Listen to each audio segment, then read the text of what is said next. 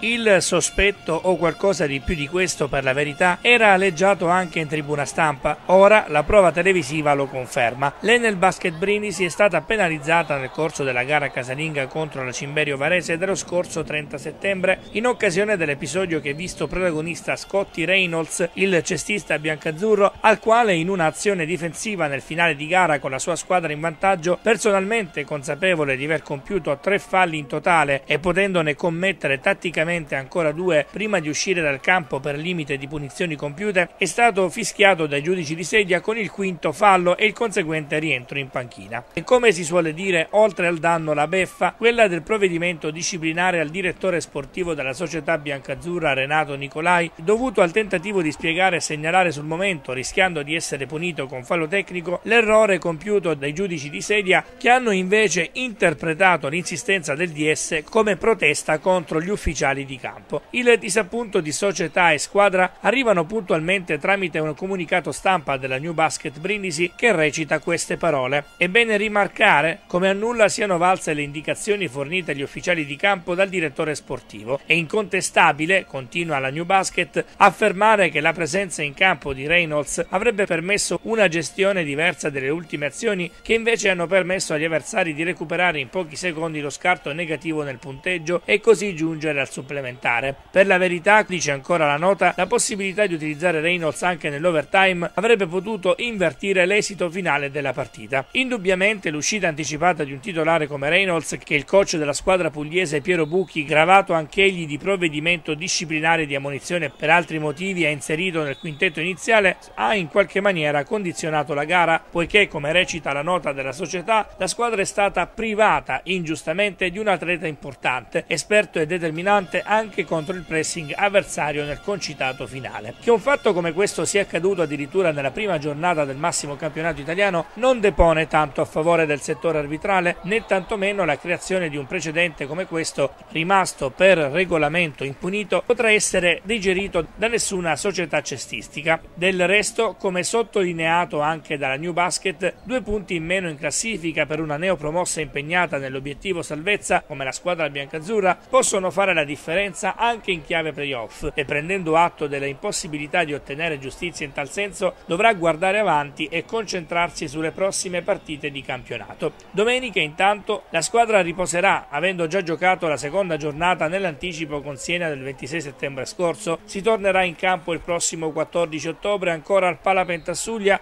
contro la Vanoli Cremona. Da quel momento il campionato della Enel Basket Brindisi ripartirà senza sosta, sperando che questa volta sul perché ci si possa confrontare solo contro gli avversari e non anche contro gli arbitri.